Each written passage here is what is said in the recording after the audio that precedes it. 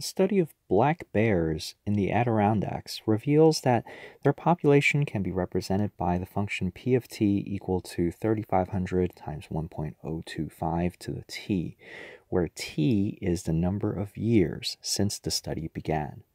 Which function is correctly rewritten to reveal the monthly growth rate of the black bear population? So let's write down the equation here. So I have 3500 1.025 to the t. So this 3500 is the initial value. This base here uh, reveals what the uh, annual uh, growth, rate of growth is, because remember, this follows the template of uh, writing the exponential function in this form, right? So my r, in this case, is equal to uh, 0.025 per year.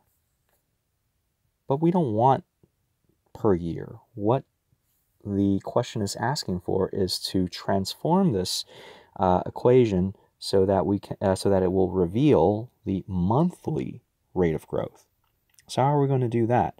So t right now, right in the original in the original here, t is measured in years. So I'm going to do a little trick. And the trick is uh, I recognize the following that in a year, there are 12 months, right? So 12 months. This doesn't change anything, right? Because 12 over 12 uh, times t is still t. Okay. By doing this, what I'm uh, what I can do is I can apply the the power rule, and I'm going to use a different color now, is what will happen is this will become 3500 uh, times 1.025 to the 112th to the 12t. And what this does, because I'm raising 1.025 to the 112th, this will then give me the monthly rate because um, that original value was to the what was the um, the monthly not monthly was the rate of growth per year. So by raising it to the 112th now i can then see what the monthly rate of growth will be. So i take 1.025 and raise it to 112 so let's take a look. So 1.025 to the 112th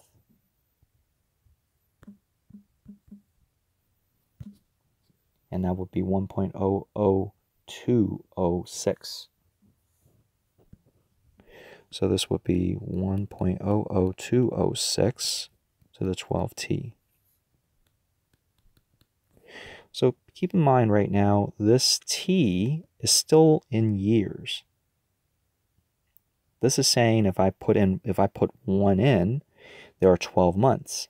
So therefore, um, I'm taking this value and raising it by 12. So essentially, we're doing the same thing. It's just um, it's just this equation has been rewritten or re-expressed so that we can then see what the monthly rate of growth is. So looking at this, uh, this is our equation for how the black bears are changing from month to month. And which answer best matches this? That would be option one.